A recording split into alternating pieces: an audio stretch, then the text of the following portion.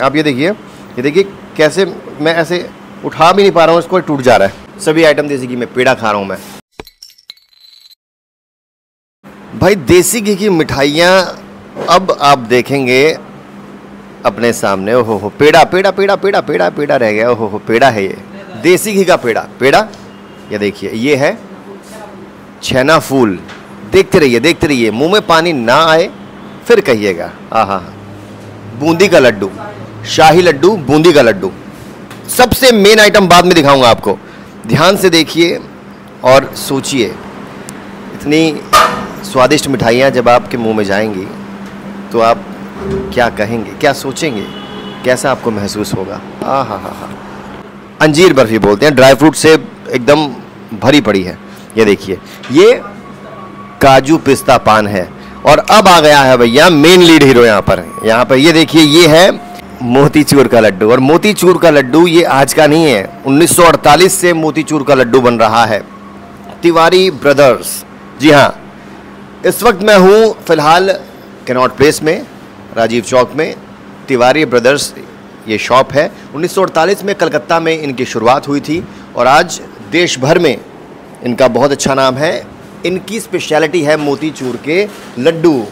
लड्डू है भैया कहाँ कहाँ मिलती है? कोलकाता में दिल्ली में मुंबई में बेंगलुरु में कानपुर में हैदराबाद में। शुरुआत की थी कोलकाता से। और आज भी ये शॉप सिर्फ़ और सिर्फ़ अपने खास मोतीचूर के लड्डुओं की वजह से फ़ेमस है।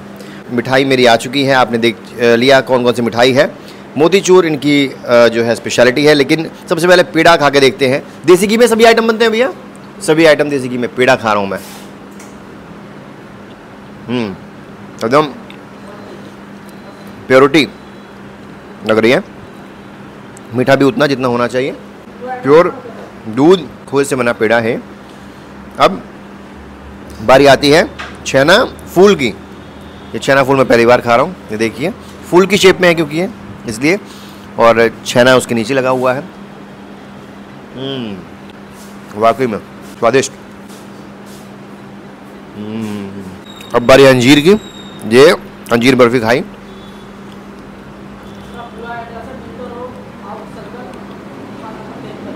वाकई मज़ा आ गया। और अब बारी आती है। काजू पिस्ता पानी लोडेड विद ड्राई फ्रूट्स खासियत है इनकी फ्रेशनेस कम मीठा और प्योरिटी नंबर एक। अब बारी आती है मेन लीड हीरो की, मोतीचूर का लड्डू, तिवारी ब्रदर्स का, जो उन्नीस से फ़ेमस थे भाई साहब।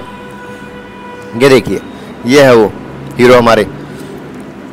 हूँ भाई साहब, यार ये तो हाथ लगाते ऐसे यार ये तो हाथ लगाते ही फूट गया भाई। है? यही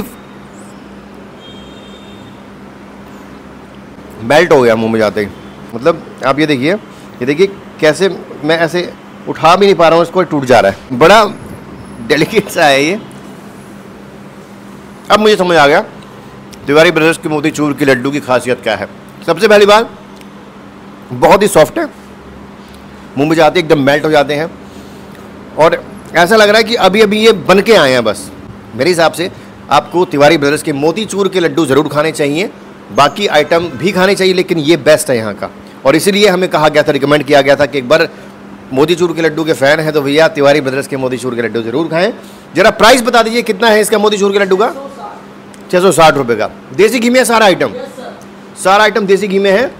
इसके अलावा तिवारी ब्रदर्स के पास ये देखिए, नमकीन भी अपनी है, सब कुछ अपना मैन्युफैक्चर है।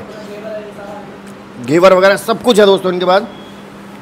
मिठाई खाने के शौकीन है, मोतीचूर के लड्डू के शौकीन है तो मेरे हिसाब से आपको यहाँ पर एक बार ज़रूर आना चाहिए। एक बार ट्राई कीजिए आकर और फिर कमेंट करके बताइए कि तिवारी ब्रदर्स के मोतीचूर के लड्डू आपने खाए हैं और आपको कैसे लगे।